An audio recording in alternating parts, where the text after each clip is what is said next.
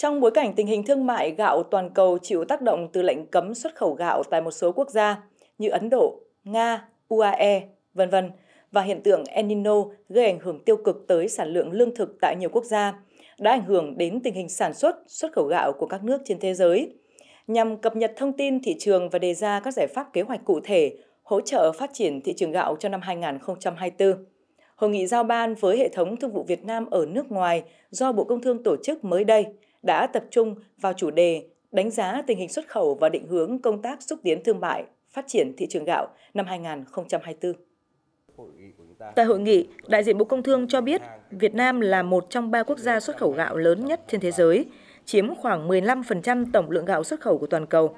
Năm 2024, theo dự báo, mặc dù tình hình thế giới vẫn còn gặp nhiều khó khăn, nhưng xuất khẩu gạo vẫn có những tín hiệu lạc quan khi kim ngạch xuất khẩu gạo ngay từ những tháng đầu năm đã đạt 362 triệu đô la Mỹ, tăng 7% so với cùng kỳ năm trước.